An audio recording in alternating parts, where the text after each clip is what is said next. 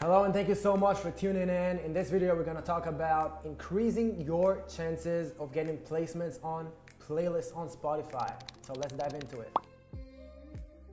So we're looking at playlisters as influencers, right? We want to reach out to them and make them fall in love with our song, add it to their playlist, their personal playlist that people actually follow and care about. Now we're gonna give you some tips to make them actually read your email. So let's go. So when you pitch in a song to a playlist, you wanna keep in mind a few things. The first one is that you're gonna have to keep things short and to the point. You don't wanna write long ass paragraphs about your history, about your parents, about all of things that you've done in your life. They don't wanna know about that. And think about it, you don't wanna receive those long essays. We wanna know about the song, we wanna know about the vibe, about the genre genre, and we want to keep things short and to the point. Here on Playlist Map, we have, as you can see on the screen, templates ready to use, ready to go, that you don't have to overthink it. You just need to change, add your name, add the song's name, and you can just roll with it and you're ready to go.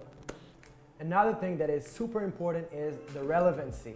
You want to only pitch to curators that are relevant to your music, to your niche, to your genre. You don't want to mess it all up, send music to the wrong people. Spotify wants to see that people listen to your song from the top to the end to the whole thing and didn't press the skip button.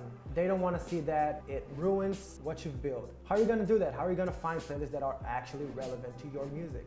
So that's why we're here for. On Playlist Map, we have a very simple tool that you can just type in a genre, a vibe, an artist, and you can get maximum results, hundreds and thousands of playlists that are relevant to your song and what you search for.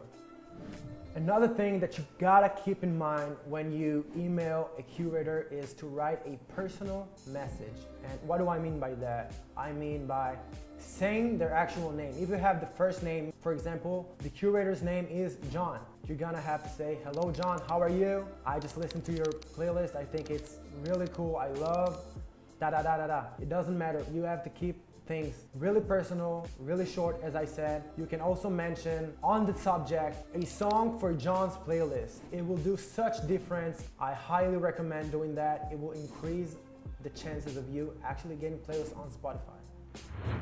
So our mission on Playlist Map is to actually help you and make your life easier with doing that. And we have this amazing platform that we built and you have a free trial that you can try and see if it works for you. So just type in playlistmap.com and start searching for playlists and getting the most relevant results for your song. Good luck.